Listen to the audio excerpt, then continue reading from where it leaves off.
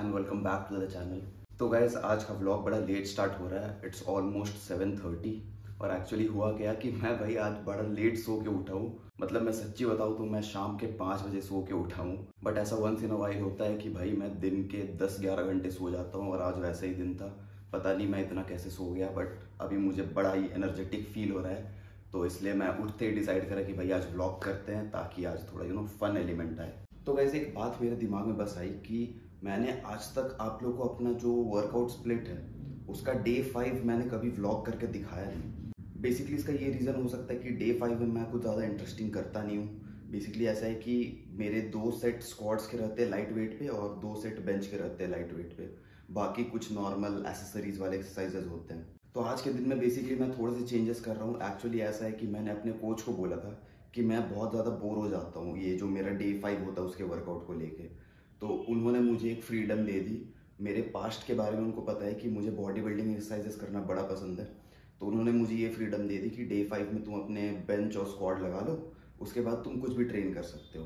तो पिछले एक दो वीक से मैंने ऐसा शुरू करा है कि अपने कंपाउंड्स खत्म करने के बाद मैं प्रॉपर आर्म्स ट्रेन करता हूँ।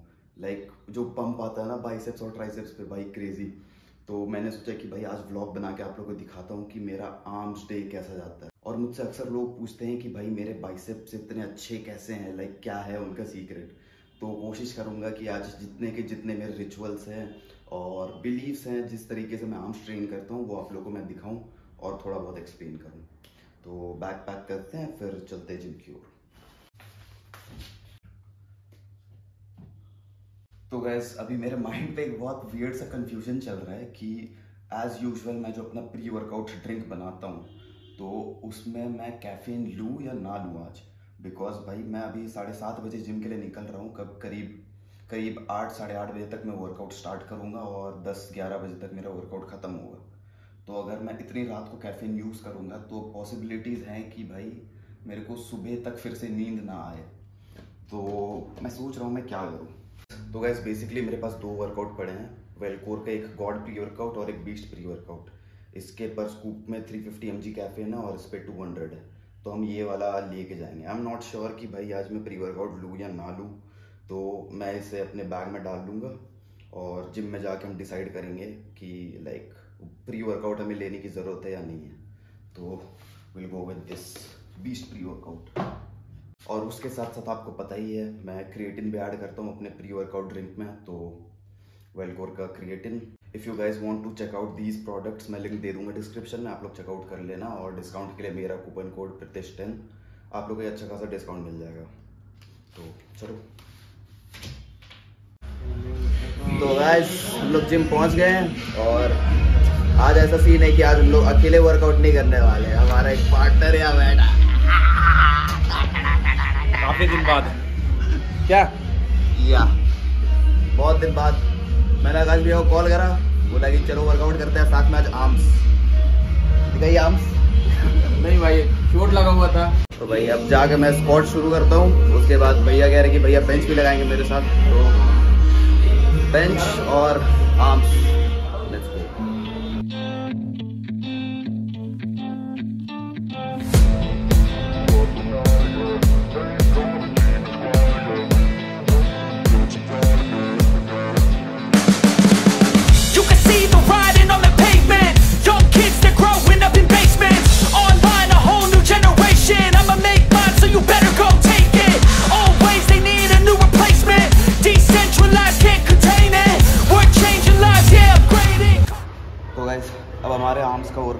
चुका है। तो बेसिकली हम ऐसे ट्रेन करने वाले हैं कि हम ट्राइसेप के तीन एक्सरसाइज लेंगे और बाइसेप के तीन लेंगे और सारा ऑल्टरनेट होगा मतलब एक ट्राइसेप फिर एक बाइसेप फिर एक ट्राइसेप तो बेसिकली ट्राइसेप के तीन एक्सरसाइज में हम तीनों हेड्स हिट करने वाले हैं। हर एक हेड के लिए अलग अलग एक्सरसाइज करने वाले हैं। हम बाइसेप के लिए हम जो भी एक्सरसाइज करेंगे, वो एंगल पे करेंगे। लाइक एक एंगल आपका ये स्ट्रेट होता है, एक एंगल आपका आगे हाथ को जाता है और एक एंगल पीछे को जाता है। तो हर तीनों एंगल पे हम एक एक्सरसाइज करेंगे keeps you up at night, yeah Make all the demons quiet, yeah We were built to thrive, yeah I think that we've all had enough What keeps you up at night, yeah Make all the demons quiet, yeah We were built to thrive, yeah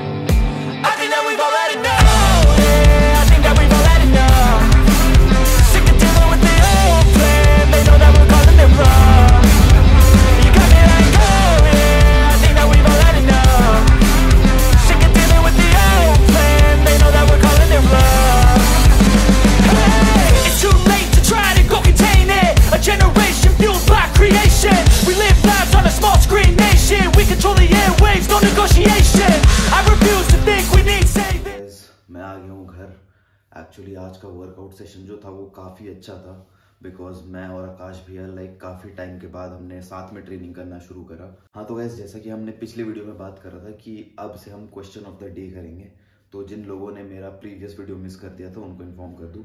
तो कुछ महीने पहले हमने एक ritual शुरू करा था, जहाँ पे वीडियो के एंड में हम एक क्वेश्चन ऑफ़ द डे करते हैं। जहाँ पे आप लोग मुझसे कमेंट्स में क्वेश्चंस पूछते हो और मुझे जो क्वेश्चंस अच्छे लगते हैं, मैं उनका आंसर दे देता हूँ या फिर अगर मुझे लगता है कि वो इन्फॉर्मेटिव होगा आप लोग के लिए।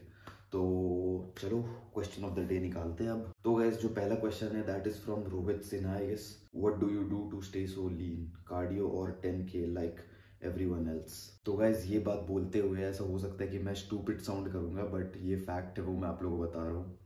मैं कार्डियो दूर दूर तक नहीं करता, बिल्कुल भी नहीं करता। इस बात से मैं एग्री करूँगा कि मैं जेनेटिकली ब्लेस्ड हूँ इस चीज़ में कि मेरा बॉडी टाइप ही ऐसा है कि मेरे बॉडी पे फैट इजली चढ़ता ही नहीं और मैं जितनी भी स्ट्रेंथ ट्रेनिंग वगैरह करता हूँ, उस रीज़न से ही मैं लीन रह सकता हूँ। तो मुझे कार्डियो करने की कभी कोई ज़रूरत नहीं पड़ती।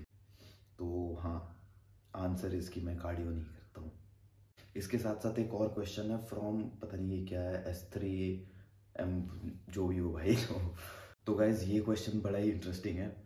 भाई ने पूछा है कि नेशनल्स क्लोज है, क्या माइंडसेट है इस स्टेज पे कंपटीशन को लेकर? तो गाइज़ हमेशा ऐसा होता है कि जब भी मैं कंपीट करने जाता हूँ, इससे पहले मैं जितनी बार भी कंपीट करा है, मैं यही सोच के जाता हूँ कि भाई, इस बार जाऊँगा डोमिनेट कर दूँगा, भाई, बिल्कुल फाड़ दूँगा।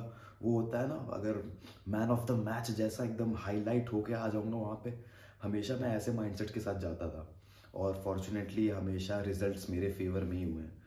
बट इस बार ही क्या है कि भाई मैं नेशनल्स में जा रहा हूँ और भाई नेशनल्स में इस बार बहुत कंपटीशन है, बहुत मतलब बहुत बहुत बहुत ज़्यादा कंपटीशन है। और मुझे पता है कि वहाँ पे ऐसे ऐसे लिफ्टर आएँगे जो मुझसे बेटर है और मेरे से काफ़ी पहले टाइम से वो लोग ट्रेनिंग में हैं। और इनफैक्ट वहाँ पे जो नेशनल रिकॉर्ड होल्डर है करंट वो लोग के साथ मैं कम्पीट करने वाला हूँ। बट द फैक्ट इज़ कि भाई लास्ट ईयर जब ऐसा हुआ था ना कि क्वालिफाई करने के बाद भी मैंने कम्पीट नहीं करा था।